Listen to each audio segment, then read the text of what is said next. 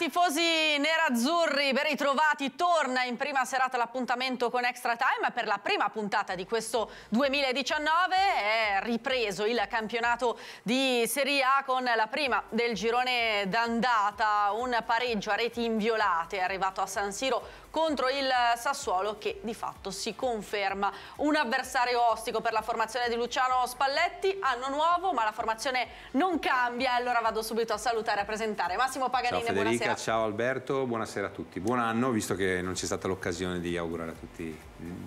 fare l'augurio per, per il nuovo anno. Buonasera, ben ritrovato anche a te Alberto. Ciao Federica, ciao Massimo, buonasera, ben ritrovati. Approfondiamo la nostra analisi con il punto tattico. Max, quali sono i quattro spunti di oggi? Ma direi, l'abbiamo già sottolineato, la sicurezza difensiva, ma quello eh, credo sia un dato oggettivo, insomma c'è poco da discutere da questo punto di vista, ma è molto importante. Eh, l'incisività di Politano e il ritorno di Vessino perché sono due giocatori importanti sicuramente e poi la catena di destra, volevo sottolineare come ha lavorato comunque bene al di là di tutto la catena di destra, eh, l'ha fatto altrettanto bene la catena di sinistra perché è stata abbastanza equilibrata come partita, però diciamo che parte delle azioni o delle azioni importanti soprattutto nel primo tempo sono arrivate da quella, da, da quella zona di campo. Andiamo per ordine, partiamo dal primo. Assolutamente sì, beh, la sicurezza difensiva c'è solo da parlarne, qui ci sono, ci saranno delle immagini che vanno, ma credo che al di là di tutto si possa partire da dietro, partendo da Andanovic che ha dato sicurezza al reparto, che è passato anche attraverso delle difficoltà, perché proprio nella partita col Torino d'andata, se ci ricordiamo un suo errore se vogliamo, però è continuato a, a, crescere in maniera esponenziale a mio modo di vedere, ha trovato quella sicurezza, quella tranquillità che trasferisce al reparto da destra a sinistra, che giochi d'Ambrosio, Versalico, la, la, la, squadra, la squadra fa bene e i centrali adesso sta giocando poco Miranda, stanno giocando Skriniar e De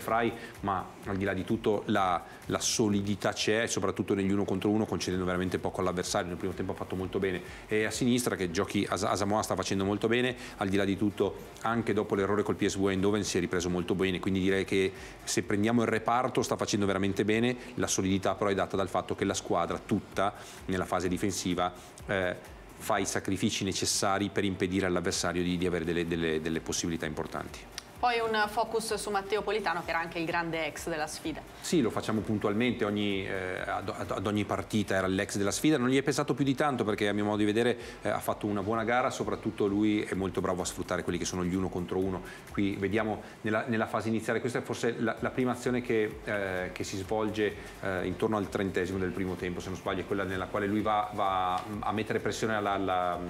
agli avversari, si parte, si parte da qua proprio. L'Inter ha giocato molto alto, ha detto bene Spalletti, ha fatto una buona gara anche sulla fase della pressione alta e quindi è riuscito a mettere in difficoltà il, il Sassuolo. Eh, eccolo qui, Politano che va a ricevere in mezzo all'area, si stacca i cardi in questo caso, lui colpisce il pallone di testa, è una sponda che non riesce benissimo, la palla va al Sassuolo pronta l'Inter comunque molto alta, qui è Samoa che va ad intervenire, prende la palla che va a Perisic, questa palla arriva nel mezzo, di nuovo Politano va all'interno dell'area di rigore, c'era solo lui all'interno dell'area di rigore a calciare quella palla che poi è bravissimo, eh, consigli a togliere dalla porta perché fa veramente una parata incredibile da questo punto di vista, salva il risultato. Perché come ho detto prima sbloccato qui il risultato la partita sarebbe stata un'altra sicuramente,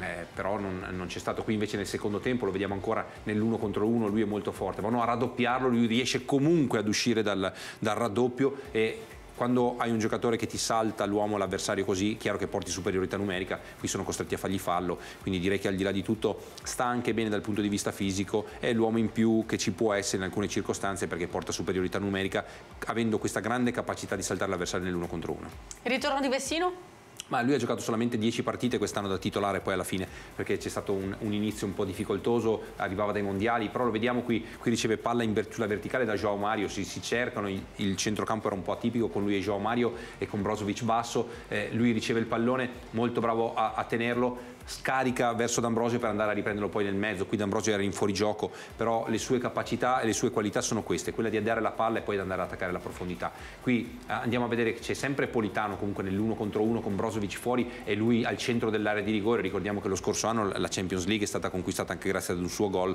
quindi direi che al di là di tutto la sua capacità grande è quella di essere all'interno dell'area di rigore, di proporsi, di inserirsi con i tempi giusti e di trovarsi delle situazioni che sono situazioni anche eh, di, di, di, gol. Qui lo vediamo dare una palla, poi vediamo la catena qui, perché qui ci sono D'Ambrosio, Politano e Vessino, qui dà la palla in profondità a, a, Politano. A mio modo di vedere qui poteva starci anche il calcio di rigore, devo dirti la verità. Eh, non è stata rivista poi l'azione, poteva, starci, però abbiamo visto come eh, già questa era la catena di destra, eh, D'Ambrosio, Vessino, Politano abbiano lavorato comunque in armonia. Un focus sulla catena di destra perché contro Sassuolo l'Inter ha attaccato principalmente sulla corsia destra. Sì, come dicevo,